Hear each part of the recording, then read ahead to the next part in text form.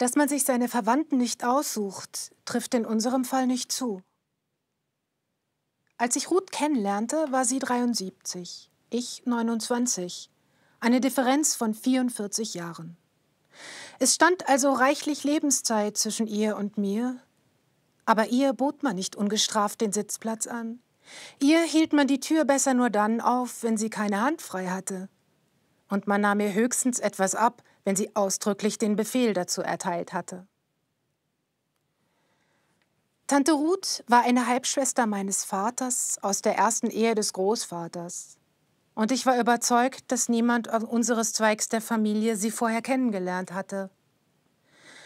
Mein Vater wusste, dass sie existierte, seit Großvaters Tod auch, dass sie ein Hotel an der Ostsee betrieb. Bei der Hochzeit eines Vetters hatte er es mir dann nach dem siebten Glas Sekt erzählt. Nein, da war kein dunkles Geheimnis, versicherte er, nur ein blutjunger, ratloser Witwer, der sein Kind in die Obhut der Schwägerin gegeben hatte und später seine neue Familie nicht mit einem weiteren Mitglied belasten wollte. Ob der Großvater es sich da nicht ein bisschen einfach gemacht habe, fragte ich meinen Vater. Und ob er selbst nie neugierig gewesen sei auf die unbekannte Schwester, zumindest auf eine mögliche andere Version der Geschichte. Aber er zuckte mit den Schultern, sagte Nein, und das sei nur eine von tausenden solcher Geschichten aus dieser Zeit. Ich kannte meinen Vater gut genug, um ihn nicht weiter zu bedrängen, und so nahm ich mir vor, der Sache irgendwann selbst nachzugehen. Was ich aber bald wieder vergaß, weil ich mich verliebt hatte und glaubte, Wichtigeres herausfinden zu müssen. Bis mir dann eines Tages wieder einfiel, dass es diese vergessene Tante gab, und ich mich auf den Weg machte. Einfach so. Naja, so einfach nun auch wieder nicht. Man kann sagen, dass ich an diesem Tag in keiner optimistischen Grundstimmung war.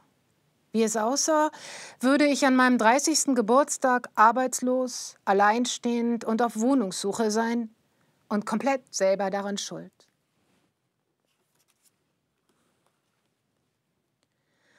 Kombüse Kajüte stand in Großbuchstaben aus Bronze über einem der Türstürze.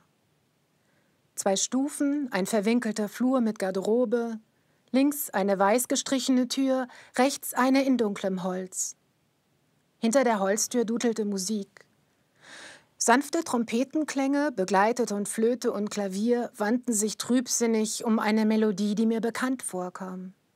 Ich blieb stehen, lauschte. Jetzt ein Saxophon. Mein Vater liebte solches Zeug. Papas Wochenendjazz kam hier so unerwartet, dass es fast tröstlich war. Ich drückte gegen die Tür mit der Aufschrift Kajüte. Ein Schankraum mit Holzstühlen, rot gepolsterten Sitzbänken, Kerzen in alten Messingleuchtern auf rustikalen Tischen. Auf den Fensterbänken lagen vereinzelt Bücher, gebundene Ausgaben, die an den Rücken mit Nummern versehen waren, als handelte es sich hier um den Leseraum einer Bibliothek.